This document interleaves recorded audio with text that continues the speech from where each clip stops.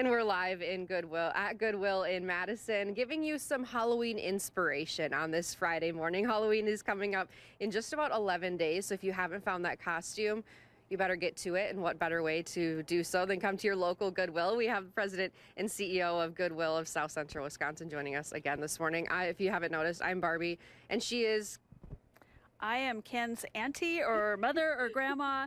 That's the cool thing about Goodwill is you can be very creative and all of a sudden you're on a different track and you have a new costume. I love it. And you guys have a lookbook on your website. But what it's better to just come in here and look through the aisles and see what you have because every Goodwill is going to have something different.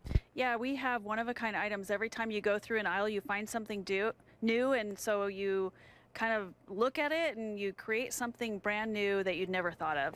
And the prices are really reasonable too. For under $10, $15, $5, you can put together a really unique, cool costume. Mm-hmm. Or even like taking something that you have in your closet, I mean, jeans and a shirt, and then just adding a hat, bandana, wig, glasses, whatever, and it's it's so sustainable. Yeah, absolutely. Everything we do, we reuse, and so once you donate your costume back, somebody else gets another um, opportunity to use it. And so it's just that circular economy. We really value that.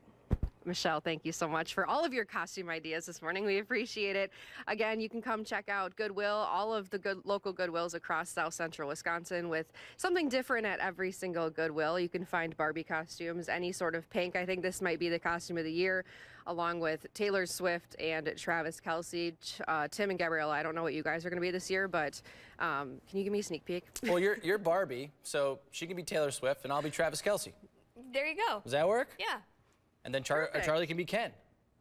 That works. It all makes sense. Yeah, you yeah. know, there, there's so many there's so many fun options out there, and I loved seeing Mackenzie's creativity this morning.